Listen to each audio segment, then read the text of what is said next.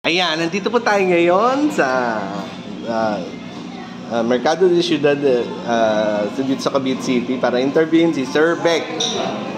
Si Sir Beck ng uh, siyang ano, ating Cavite City Public Market Administrator, sir. Kamusta po, sir? Ito, maayos naman.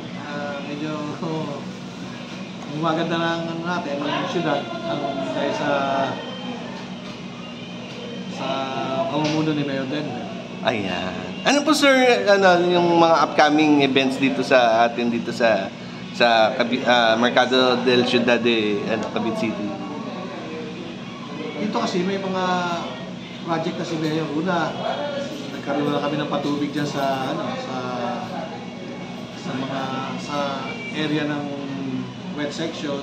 Pinalagyan din ni Mayor ng ng water supply yung karinderya at mid section. Mm. Tapos yung mga ibang dati nung araw, yung mga hawkers eh, mga hawkers dati sa labas ng, ng kalye, kung matatandaan mo, di ba? Eh, yung lahat eh, nilagay na namin sa, hindi naman, actually hindi likod yun eh. Yun ang harap ng market talaga. Ah! Yun sir, Beck, ang talagang ano, originally harap ng market. Oo.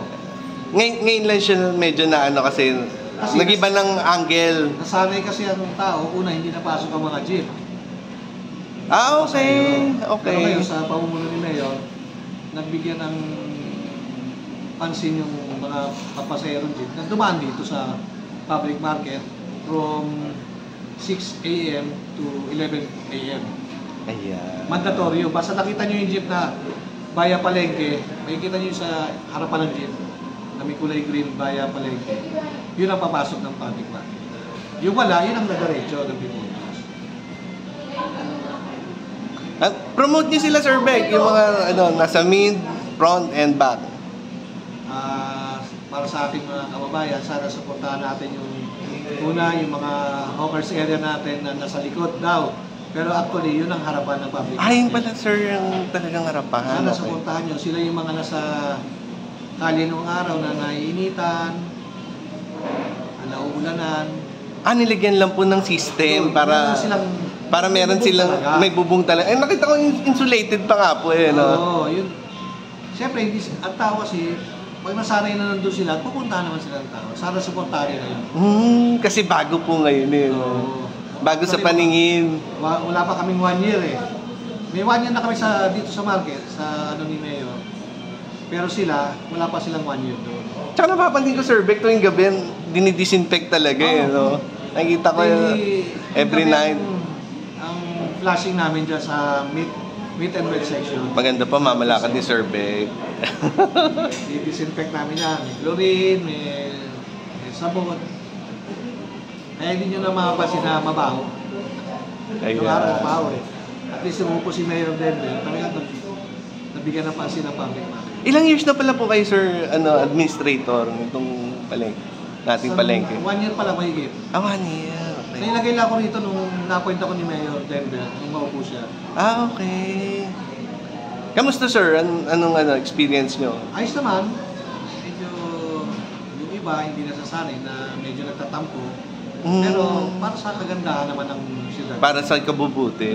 Magkakaroon ng order. Ayaw naman natin. Actually, nung araw, hindi mo makikita ang ganyan ka ano, ang public market eh. Ngayon, medyo... Yung iba lang naman kasi kasi nasanay sila eh. Ayan. Nasanay sila sa, sa kali, na arawan, na ulanan. Pero madali, accessible naman din Oo. eh, no sir? Kaya hindi, hindi pa lang masyadong nasasanay yung mga... Naikot, ano. naikot naman ang jeep eh, sa morning eh. Mm, ah, every morning sir doon na Oo, oh, basta nakita mo yung baya palengke yung jeep. Yung Ayan. Taga, no, market. Any project, ano rin ni Mayor yun. Ayan. Uh, dumaan ng mga pampasaherong jeep sa public market. Kamusta ba sir yung mga ano, ko, ko ano? Okay naman, lahat naman nagko-cooperate. Halos lahat sila, mga dati na rito. Happy kayo sir, happy. Oo naman. Sumag-. Magandang harmony. Parang ano kami rito eh. Family. Mercado del Ciudad family. Yeah. Makasali nga. Ayan. Any final remarks, sir, dito sa atin? Dito Ayun lang, sana supportahan niyo yung mga local vendors natin para matulungan din natin sila sa kanilang hanap buhay. Ayan. Maraming salamat kay Mayor. Dahil nabigay na ako ng pagkakataon na maglinggo para dito sa market. Ayan. Thank you, boss. Ayan. Ito po si Nino Christopher Diaz ng taga Cavite Kapag. Ah, Sir Beck, thank you po sa pagpapaan sa interview. Ayan, okay. Ayan, ayan, nakita niyo yung ano, yung ah, ating ah, ah, Mercado de Ciudad Administrator, ayan, si Sir, si Sir Beck. Ah, mabait naman, Sir Beck. Okay. Back to yung mga kapwa kong kabitenyo. Ciao!